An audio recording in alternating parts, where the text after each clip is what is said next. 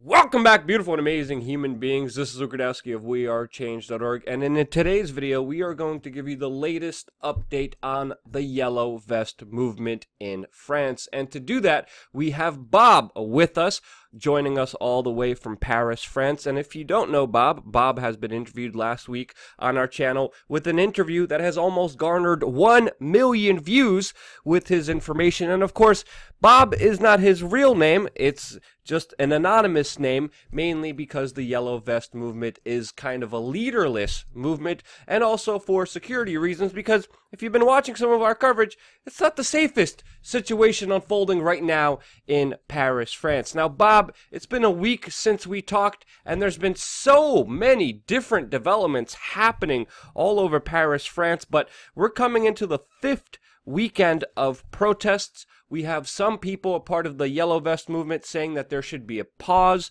uh, agreeing with the government, saying that there should be a pause because of the major attack that happened in Strasbourg. We have other people saying no, we're definitely going to protest. We have other people talking about self government, and obviously a lot of different things that we're hearing from kind of a leaderless movement. But how are you seeing things moving into the fifth week of this yellow vest movement, and what do you think will unfold this Saturday?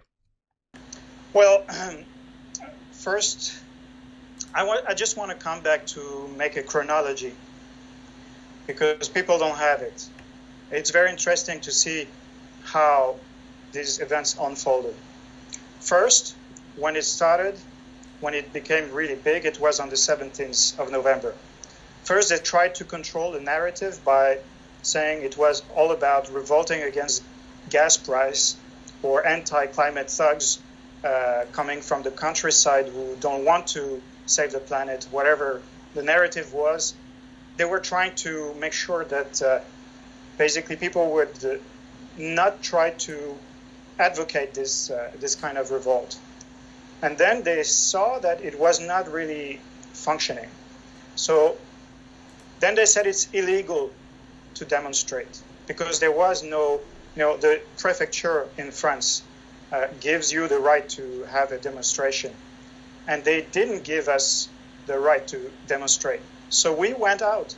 That's the that's what we had to do. And so yeah, go ahead. People went out anyway. So then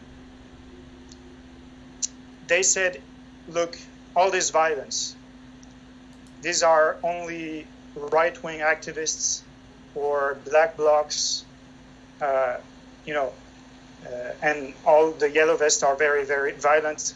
We have to stop this violence. This is in, in, insane. And so they, you know, 24 a day on BFM TV, but on other news stations, most of them, they were asking for a stop. Especially the second time, it was really violent. I was there and I filmed some of these events. It was really shocking to see. Uh, and of course, there was some violence. We can't say there was no violence, but it was only in Paris, especially, and especially in certain areas of main cities.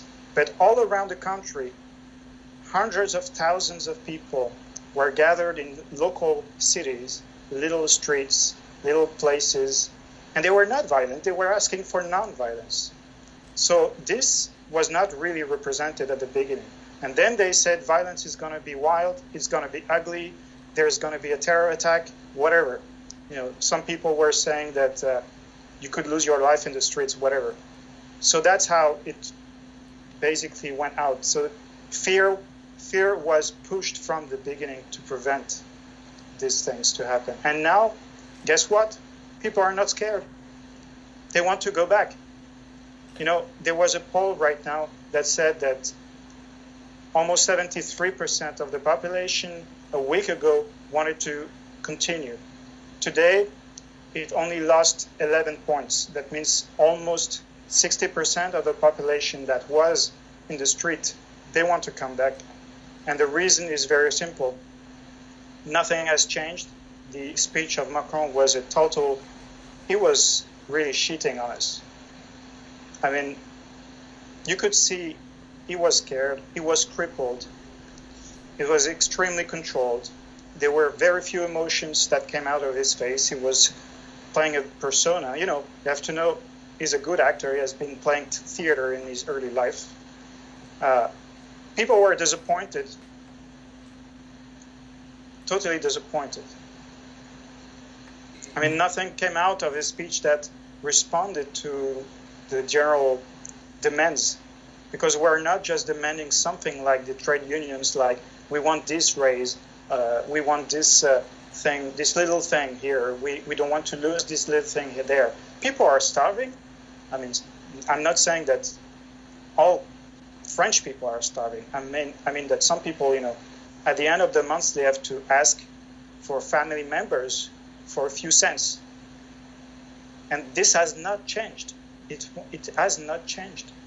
Yep, and the the situation is very real and very desperate for a lot of people there, and that's why we're seeing such a huge movement and and such a rare situation where people from the left and people from the right and even the moderates all coming together, meeting on the street, and a lot of them, as we documented, were calling for peace. We're the ones trying to calm situations down. We're the ones trying to prevent other people from attacking the police and being uh, just calling for for order there um, which which again hasn't been really demonstrated in this bigger kind of uh, media coverage that we've been seeing. Now, this week there was a major event in Strasbourg that has very conveniently, as people were pointing out, worked out to the benefit of the government that has been calling on this protest to stop because of uh, security reasons.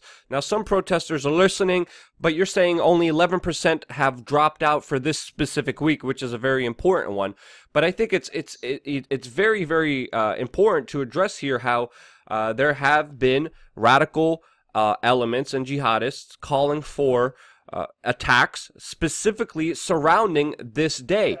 And uh, the people who were questioning it uh, these very specific instances, especially on Facebook, have been censored. And if you've been watching our channel, you guys understand as well that our channel has been delisted and censored in a way for even bringing up and documenting uh, the events that were unfolding there um, in in Paris on the ground.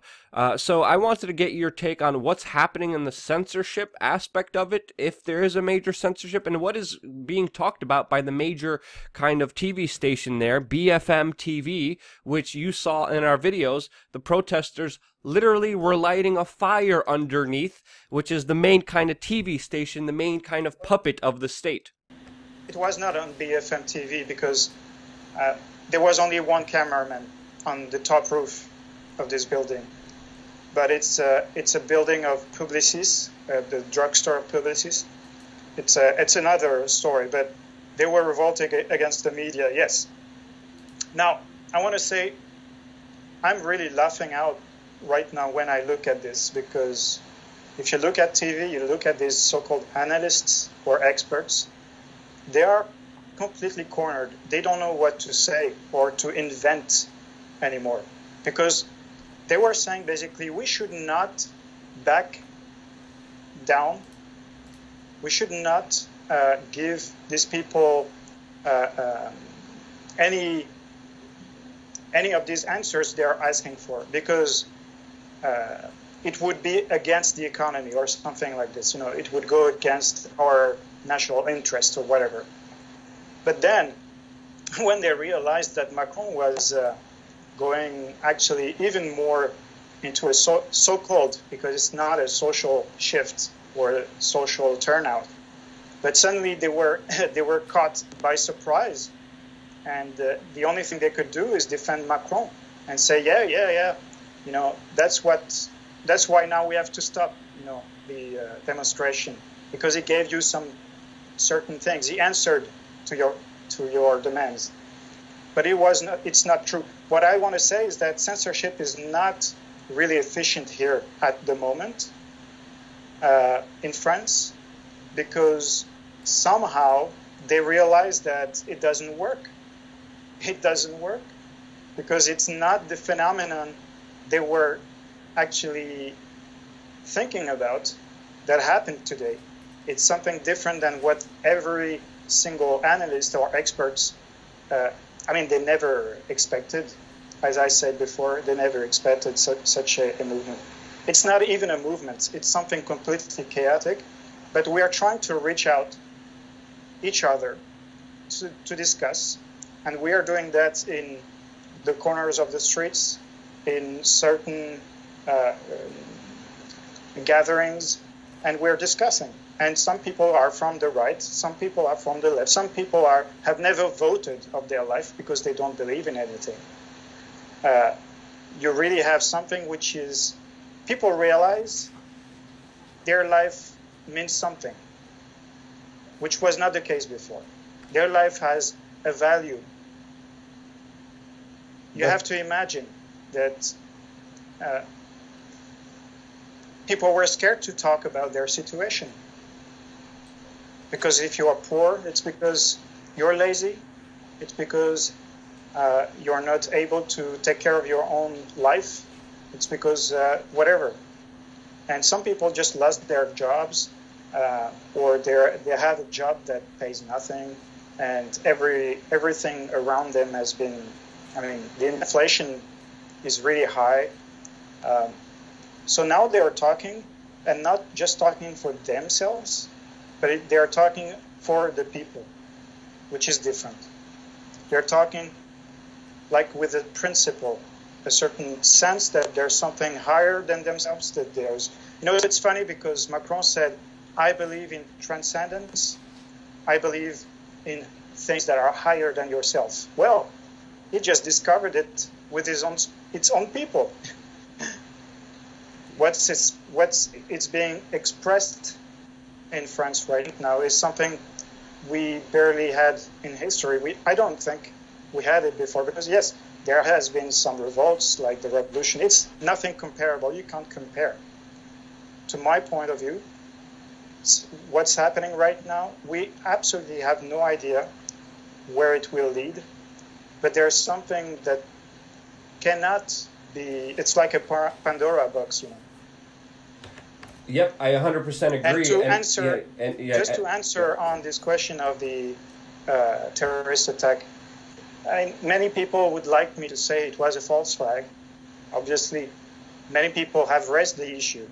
It's very it, it's very uh, how you how would you say convenient difficult to express mm-hmm. what people have felt at this moment. I don't want to go into the details. I know that false flags exist. It's okay with this. I know it, it exists. It has happened in Syria. It's official. It has been officialized by the UN uh, uh, agents who went on, on the ground when they saw that the chemical attack was a stage event and that all the media around the world said it was Assad. And it was not reported afterwards, that's for sure. But I won't talk about what's going on in France for a simple reason, which is that there are we have no elements to say otherwise at the moment. We have no elements to say what happened.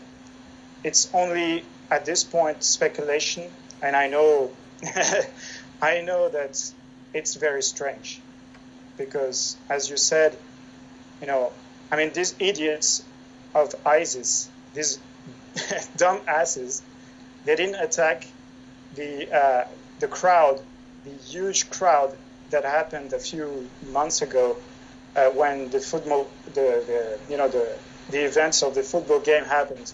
There was hundreds of thousands of people in the streets. They had all the time to maneuver on it. And there was maybe 10 times less policemen at the time in the streets than today. You know what I mean? It's it makes no sense. It, yeah, it absolutely makes no sense for them calling for an attack when there's most amount of police all over Paris. I mean, we're talking about almost 89,000 uh, officers all over Paris. And this is where, when they decided to publicly announced that they want to do a major attack, not during the other stuff, but again, makes no sense. Uh, but I really liked what you said about not a lot of people seeing this because, again, this is a big slap. Uh, of reality for Macron, for the analysts, for the elites in a lot of countries, with people saying, "Hey, my life has value," and that's a very important aspect of it. And we, yeah. I mean, on this question of the terrorist attack, I mean, uh, you have to realize people are not scared anymore. They went in the streets while people uh, all around TV, the, the networks, I mean, the, the uh, social media, there was a lot of speculation on the level of violence that would happen. And people went in the street, even though the, uh, the message was sent don't go in the streets, it's going to be violent.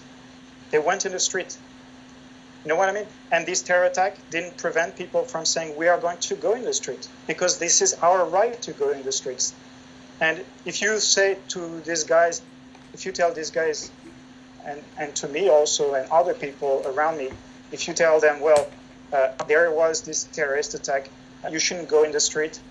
Well, first of all, you have to imagine some people are on the situation of survival on a monthly basis. So, what is their life? What do you think they are scared? You think they are scared about this? If every month they don't know what their life is, uh, if their life is worth it, or if there's a, a, a future for them. You know, it doesn't work on people who have almost lost everything, or are on the way to lose everything, or seeing some people in their family who have lost everything.